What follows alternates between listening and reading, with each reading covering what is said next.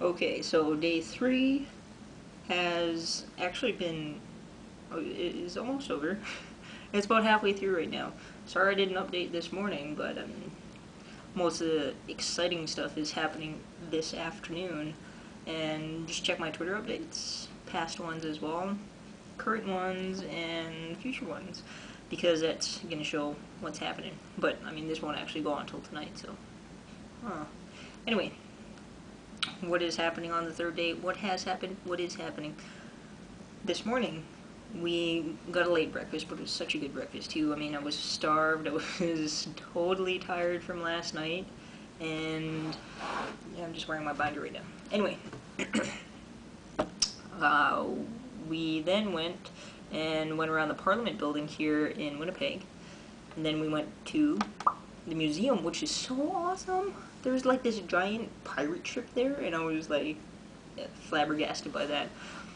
Got a whole bunch of pictures. I also hacked up my lung a bit because I am a little sick, which kind of sucks, but well, we'll see what happens. Uh, and then we had lunch over at this really nice restaurant called The Tallest Poppy, which is kind of like this indie, country, homegrown sort of feel restaurant, and the food is really good, vegan friendly too. Uh, they give you sandwiches, nice sandwiches. They're like huge like that big. You can't even fit your mouth around them, they're so big. And they also give you some like chips, they also give you salads. Like it, it feels like a picnic, but a classy picnic. And then we ended the afternoon off at the graffiti gallery. There. Now this is a sweet uh, gallery that's happening graffiti art programming. It's a not-for-profit youth arts center dedicated to the creation of a safe and accepting environment for the de development of all forms of artistic expression. GAP uses art as a tool for community development, social change, and individual growth. And it's a really awesome time. Like if, if you could check out their website, which is actually graffitigallery.com. Oh, sorry, graffitigallery.ca. They have some wicked stuff on there, and if you ever get a chance, come here to Winnipeg and check it out. It's super, super cool. Uh, it's in this old warehouse. There's graffiti everywhere, good graffiti, and amazing. Anyway, so I'm getting ready for the Queen's visit pretty soon. That is the Queen of England. And I was, I, I did a little interview yesterday for the Winnipeg Free Press. And we had about a five minute inter interview and then they took a whole bunch of pictures as well.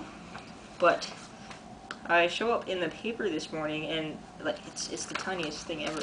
Okay it's this whole page okay? And in this whole page here this is the whole article I am right there. That that is me. That is what the Evoke Art Contest got right there. And I'm quoted as saying, I'm nervous. I don't have the right pants, laughed Jack Saddleback, a 21-year-old Calgary artist whose self-portrait honors the struggles of transgendered people. And I thought that's pretty neat. Of all the things to quote me on, it was a good interview, it was funny, it was nice casual, and I'm glad that something definitely went in there, at least for the artist here for the Evoke Art Contest. So, getting ready to see the Queen. I'll give a quick picture of my outfit that's going to happen. And try not to die as I'm going there. So I'll talk to you guys in a bit and update you. See ya.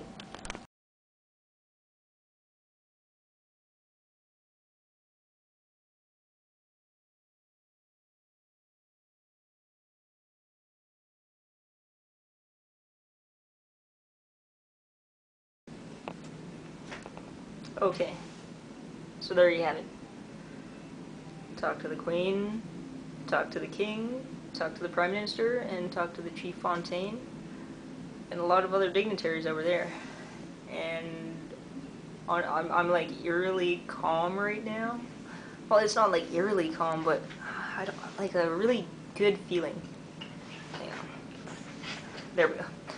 A really awesome, awesome feeling, no doubt. I mean, this is a historical moment, and I am so, so proud to be a to be a part of it. And yeah, as, as you can see, I'm, I'm, I'm welling up, no doubt. But it's so awesome too, being able to show my artwork and bring transgendered rights, especially in a cultural context, a societal context, is so so awesome. Yeah. I'm gonna cry. but it isn't like a bad cry, it's a good cry. You know, really emotional and ah.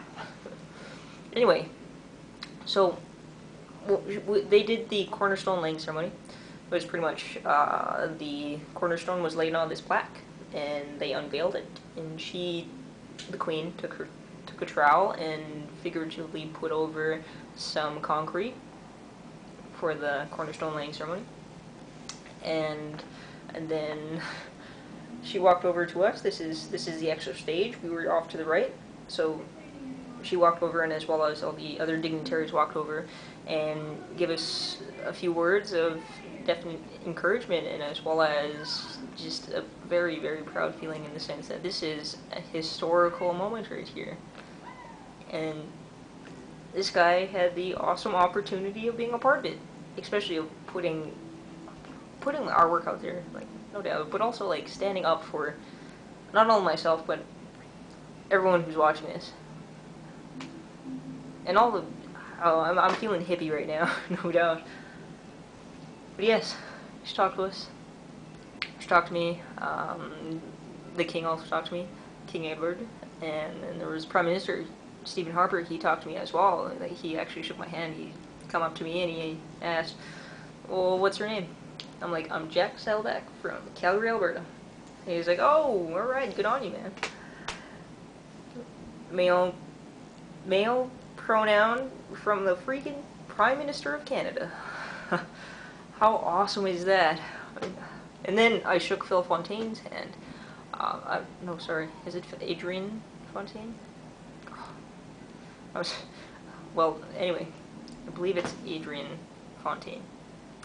He shook my hand. And if Adrian Fontaine, you're watching this, or if anyone knows him, please correct me, and if so, I'm sorry. Uh, but he shook my hand, and he's like, what's your name? And I'm like, Jack Saddleback. He's like, oh, you're you're from Hobbema, aren't you? I'm like, yeah, and there you go. So, all you Hobemians watching, all you native people watching, there's one for you. Yeah, I'm feeling awesome right now. I mean, I got this this pass right here.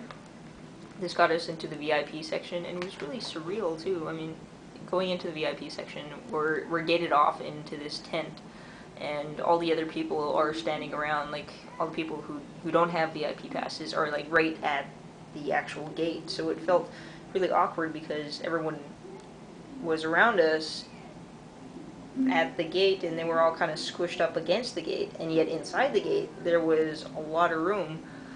So it was, it was a little strange. Anyway back to the actual talking talking. Um, if y'all guys have any questions any concerns any discussions that you want to bring up like I'm totally up for that too. Just hit me up with a video response are always welcome but I also like comments right down below and don't don't don't forget to subscribe which is right up there. Alright and I'll talk to you later